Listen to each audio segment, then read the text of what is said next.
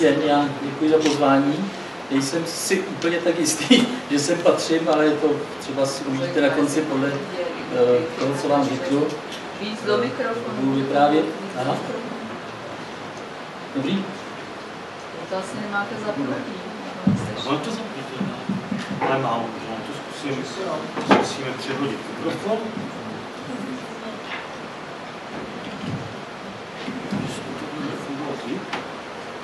Dobrý? Jo. Eh, Já nemám teda prezentaci, abych vám tady promítal, ale já jsem dal do fora několik eh, tisků tohohle mého krátkého referátu.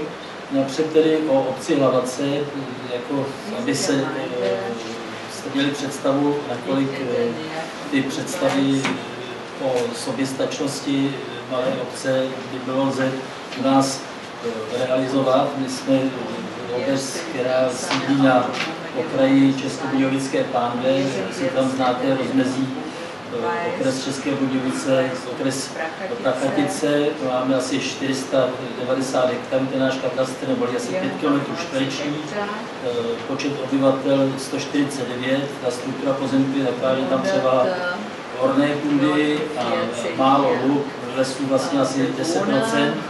Jo, s- není tam, kdo máte ten, ten výkres teda, nebo ten snímek katastrální mapy, tak tam vidíte, že ten půdorys té obce nebo toho osídlení, že z hlediska těchto úvah, které se tady vedou, že, že vlastně je to docela příznivý a vidíte dál teda, že jsme to eh, trochu zkoušeli, ale zatím jako jsme se nikam ne, ne, moc nedopracovali s tou soběstačností. ne.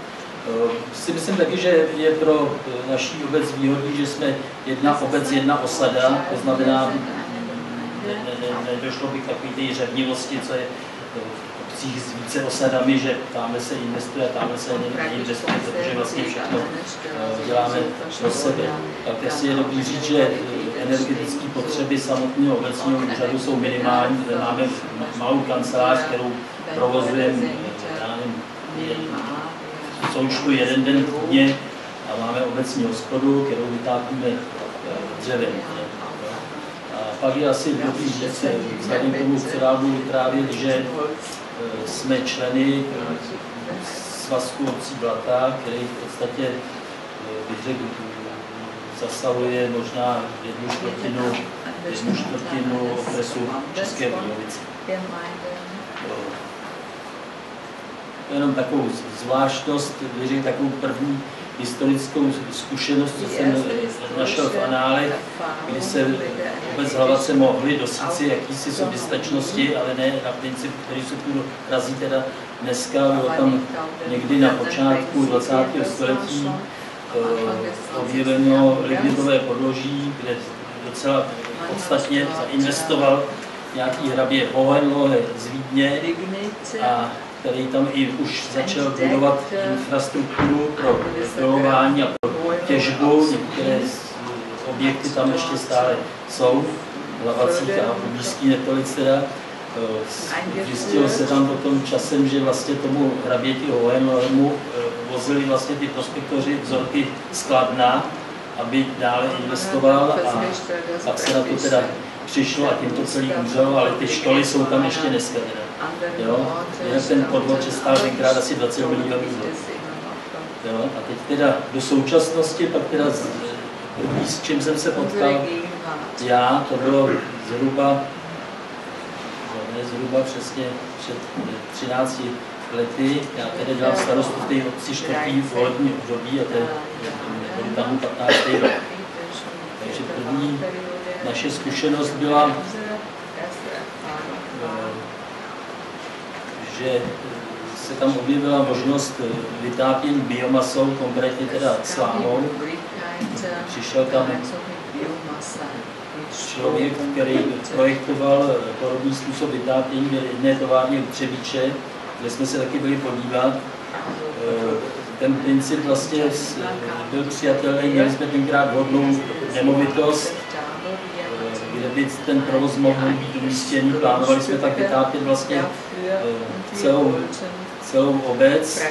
Takže technologie byl, ten objekt byl, finance na to byly kus dotací, kus, kus úvěru, kus vlastních peněz, ale na čem to tenkrát ztroskotalo a si myslím, že, že s tím tím s těmi obtížemi, že se setkáváme dnes. Už jsem říkal, proto jsem to říkal, kolik je tam máme ty orní půdy a že vlastně tenkrát hodně, hodně obilovin se tam pěstovalo před těmi 13 lety. Dneska už ten poměr je drobně jiný. Nebylo možno s místním družstvem sjednat dlouhodobý závazek při garantovaných cenách slávy. V podstatě eh, tenhle obchodní princip jsme nebyli schopni s tím místním družstvem, který na, na všech těch pozemcích naší hospodářství zvládnout, a takže jsme se dál nedostali. Pak jsem v té své kariéře jsme řešili eh, možnost plinofikace. Tenkrát to bylo, organizoval svazek obcí Blata. Eh, je fakt, že se té plinofikace tenkrát připojilo víc než 50% členů eh, svazku obcí Blata, ale když to vyhodnotíme dneska, tak to připojení toho obyvatelstva, těch obcí, které teda do té plinofikace šly, tak si myslím nebýt eh, tolerance, a to si myslím, že platí hned pro celou republiku, aspoň u těch malých obcí nebýt tolerance ministerstva životního prostředí, takže se hodně těch dotací s jejíž použitím to bylo eh, postavený musel vracet. Takže si myslím, že, že v těchto malých obcích ta plinofikace, eh, že to byl nesmysl, já si dokonce myslím, že my jsme v našich poměrech, teda my jsme se do té plynofikace nešli z více důvodů. Byly to důvody. Za první teda eh, finanční, nechtěli jsme si na to půjčovat. Za druhý eh, jsme se nebyli schopni vejít do, do těch kritérií pro dotace, protože tam tenkrát vycházelo tak jak ta, to ovzduší u nás je na té si lepší než ve větších obcích, asi tak prostě musela by tam být ta úspora asi 240 eh, metráků, si pamatuju, uhlí na jeden ten objekt vytápěný, což u nás nebylo možné, anebo bychom, my jsme museli prostě do těch žádostí lhát. No. A třetí věc byla, že my jsme prostě těm obyvatelům nevěřili, že, že se chtějí připojit. Tenkrát ještě neexistovalo vlastně referendum podle zákona, tak jsme si tam vlastně uspořádali jaký pomocný referendum, ale vlastně to referendum dopadlo ve prospěch té plinofikace, ale zastupitelstvo, jsme taky docela konzervativní, tam, tak jsme do toho přesto nešli. Pokud to byl tenkrát unikát okolí, že jsme vlastně hlasovali, hlasovali 7-0 v neprospěch teda té plinafikace celý zastupitelstvo, přestože to obyvatelstvo bylo to. Prostě jsme tomu nevěřili. Možná jsme si taky vzpomněli na, si pamatuju, že jsme byli na nějaké ekologické konferenci ještě před, tak tři roky předtím, někdy v roce 2000 na Hlubokej, kde hluboká nad Vltavou, teda, kde, kde přirovnávali e, plinofikaci, tenkrát to bylo dost na začátku tady v republice, vlastně k vysavači na peníze, kde agregát je v Rusku, že jo, a ty hadice toho, toho vysavače, že jsou u nás v republice. Že? No, takže, takže eh, do toho plynu jsme nešli z těchto důvodů a pro ty lidi, kteří eh, prostě jim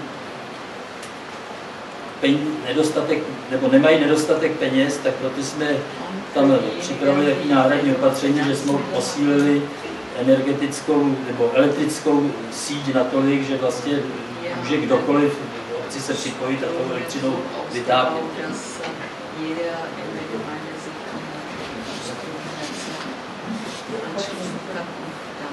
Teď bych chtěl říct, já už jsem to trošku zmínil, že asi dost podstatným eh, vlivem na strategické rozhodování, co se týká té energetiky v těch obcích. Dívá si složení zastupitelstva. My jsme v tomhle teda konzervy tam na druhou, protože v našem zastupitelstvu vlastně nikdy nebyl eh, zastupitel mladší než 45 let. A eh, vlastně teď, i teď jsme tam všichni zastupitelé, tak minimálně tři volební období máme za sebou. Abyste nemysleli, že jsme tam nějaká klika, máme, máme absolutně nejdemokratičtější volby, co, jako kde se s tím potkám. Máme samý nezávislí kandidáty, máme u nás, tak my tomu říkáme primárky, že vlastně v dostatečným předstihu před volbama eh, obešlem každý obyvatele a každý obyvatel dá na papír s razítkem obce, teda koho si přeje, aby, aby kandidoval do zastupitelstva a na základě toho skládáme kandidátku. Jo, máme sedm člen zastupitelstvo, tak nějakých deset lidí se tam napíše a z těch ty občaní volí s tím, že speciálně vyhlašuju vždycky ještě, že jsem připraven komukoliv, kdo, kdo se prostě do tohle pořadí nevešel, tak mu veškeré formality týkající se voleb zařídit. Jo. Přesto tam takhle dopadá. Ale já o tom mluvím jenom proto, že eh, možná kdyby tam nějaký mladák, nějaký vizionář nebo, nebo řekněme idealista, když, tak že možná, že by, že by ten příklon tady k tomu uvažování, jako tady slyším, takže by byl příznivější. Přesto si myslím, že někdy jsme schopni docela revoluční rozhodnutí, jenom jako vzorek řeknu, že třeba ne, neplatíme popelnice u nás, občané, že veškerý svoz komunálního odpadu odpady zdarma, nebo docela rychlý jsme byli, šlo o, o pozemkové úpravy a podobně. No, tak to k tomu plynu, protože to bylo takový docela, tam i hysterie v tom svazku obcí byla, když se museli, museli měnit projekty, kvůli kterým jsme eh, jako z toho vystoupili tenkrát. Pak jsme se vlastně před dvěma lety potkali s, s další takovou možností, a sice ukázala se možnost u nás, že by družstvo Sedlec stavilo bioplynovou stanici. A tak aspoň tenkrát říkali, že by jsme měli že kapacita toho odpadového tepla, že by měla stačit na vytápění těch 51, 51 objektů obydlených, který v té jsou. A ty parametry byly asi takový, že by obec prodala družstvu pozemek eh, tenkrát za 5 milionů korun, na kterým by byla s pomocí dotace postavena bioplynová stanice. Družstvo potom by odpadním teplem vytápělo celou vesnici a tím by se mu za pět let vlastně vrátila, vrátila eh, investice do toho pozemku. A potom, co by byla ta ten pozemek splacený, tak by šla takhle cena toho tepla eh, měla být jako, jako cena, když byste si to mělým uhlím, a s tím, že až by byla ta investice do toho pozemku splacená, takže by byla ještě o 20% levnější. Takhle to ekonomicky vycházelo, ale samozřejmě bez té dotace státu, která do těch bioplynových stanic šla, tak prostě bez, bez toho by to nešlo. No. A ten projekt se neuskutečnil, protože nebylo možné připojit na EON, protože nás tam nějaký projekt už předběh a už tam vlastně taky je, taky je to solární, solární pole. No. Takže to, to jsou takové naše prožitky. Vidíte, že tam nějaká snaha v tomto směru byla, v tom, v tom, o kterém je tady řeč, ale momentálně teda jsme jako docela skeptický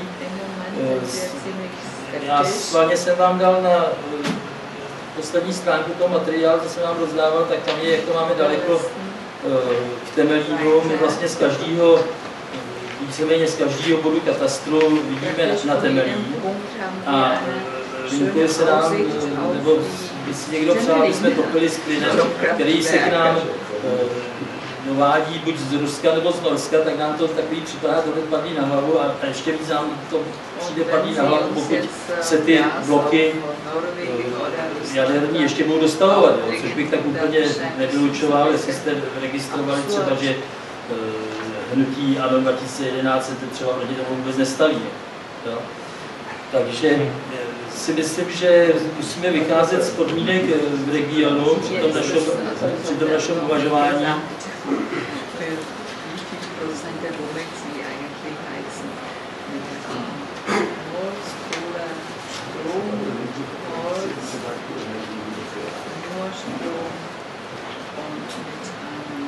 Takže my, my, když se podíváme na, ten, na ty naše podmínky, které se nacházíme, tak považujeme za nej, nejpřirozenější nějaký takový energetický mix, kde teda hlavní, hlavní oporou bude bude elektřina a prostě to ostatní doplňkově, tak na co máme s tím, že máme eh, dáváme občanům lacino dřevo z obecního lesa, ale to samozřejmě není, není kapacita, která by eh, ty věci nějak podstatně řešila. Jsme připraveni eh, finančně podporovat i zateplování, jsme připraveni i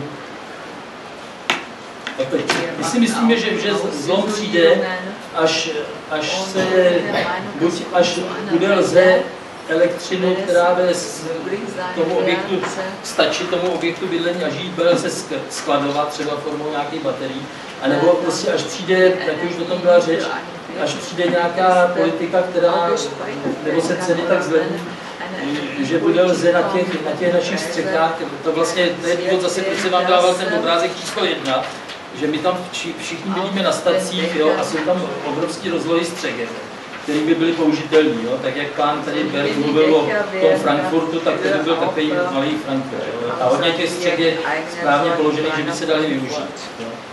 No, takže eh, až se v tomhle změní ta politika státu, nebo až, až bude možný prostě, že kdykoliv, kdykoliv ty energetici to odberou, odberou prostě ten eh, proud z té střešní solární elektrárny a kdykoliv si ho bude moct vzít zpátky, jo, bez nějakých komplikací, tak to si myslíme, že by mohl být zlom a, a že by ta elektrika mohla být v tomto ohledu i u nás ekologická, nejenom z toho.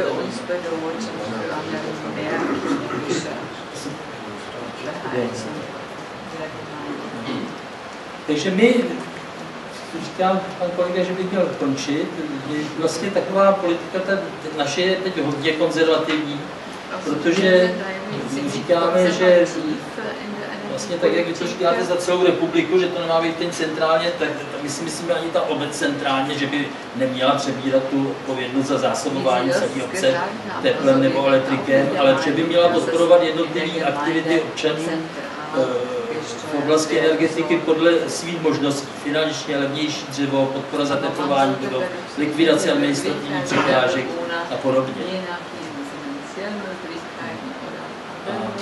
Měl jsem tu ještě pár jako poznámek, ale, ale budu respektovat ten daný čas. Jenom řeknu, že já nevím, možná, že, že něco takový existuje, já jsem se s tím nesetkal, eh, jako hodně slýchám toho pana Pačese a energetická politika státu a tyhle věci, ale já si myslím, že by měly být energetické politiky krajů taky minimálně, jo, tu decentralizaci, protože asi je rozdíl, s čím zacházíme my v Jižní Čechách, když prostě ze všech, nejenom obce naší, ale kraje v podstatě vidíme na Temelín a možná dojde Temelín a něco jiného je to severní Čechách prostě s jejich hnědouhelnýma elektrárnama a zase možnostma větrných parků třeba v Krušných horách, jo, takže je to zkrátka jiná situace, že, že ta koncepce nemůže být pro celou republiku.